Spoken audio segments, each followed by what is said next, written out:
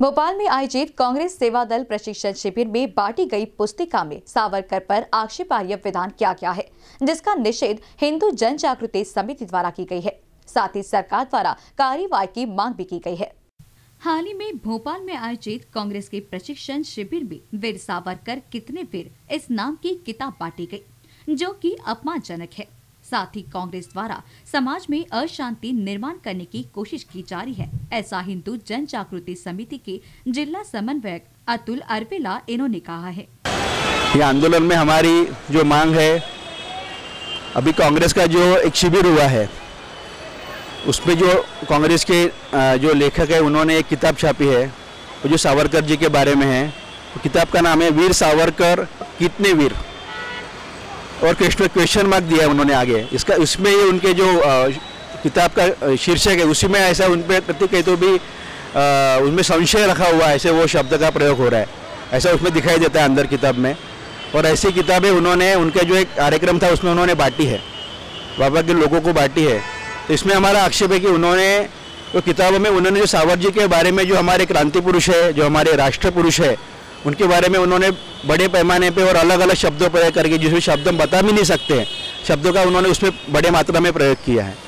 जैसे उन्होंने बोला है कि आ, उसमें उन्होंने शब्द प्रयोग ऐसे किया है कि नथुराम गोडसे जो है और सावरकर जो है उनमें शारीरिक या समलिंगी संबंध थे।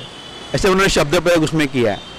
तो जिस जिनको तरफ़ आदर्श से हम देखते हैं उनके तरफ़ से अगर उनके बारे में ऐसा गलत प्रयोग करेंगे तो हम कहाँ पे सहन करने वाले? राष्ट्र का कोई भी भक्त ये शब्द या वाक्य सहन नहीं कर सकता है। इसका निषेध करने के लिए हमने ये आंदोलन में सूत्र रखे। वहाँ पर उन्होंने अलग अलग सूत्र भी रखे, जैसे वो बोल रहे कि जानबूझ के जातीयता, जातीय तेज निर्माण करने के लिए उन्होंने शब्द प्रयोग किए हैं। जैसे वो बोल रहे कि उनकी उम्र के 12 साल में जब थे, उस समय उन्होंने मस्जिद पे दगड़ फेंक किया था। अभी वो 12 साल पहले 12 साल में उन्होंने वैसे ऐसे किया, इसके बाद उनके पास क्या प्रूफ है? कुछ तो भी जानबूझ के सावरकर जी का अपमान बार बार करते जाना और कुछ तो भी एक धर्म को कहीं तो भी अपमानित करते जाना, राष्ट्र के पुरुषों को अपमानित करने जाना, ऐसे उसमें दिखाई दे रहा है।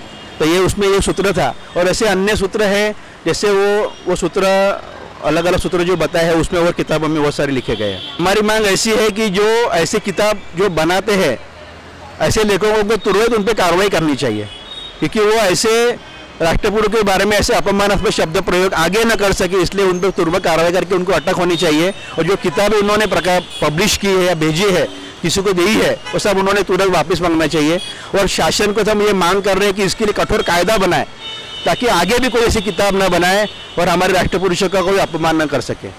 साथ ही हिंदू जन जागृति समिति द्वारा स्वतंत्र वीर सावरकर को भारत रत्न देने की मांग भी की गई है। और आक्षेपार्ह विधान करने वालों पर जल्द से जल्द कड़ी कार्यवाही की भी मांग हिंदू जन जागृति समिति द्वारा की गई है। कैमरा पर्सन सुभाष के साथ क्षितिजा देशमुख की रिपोर्ट।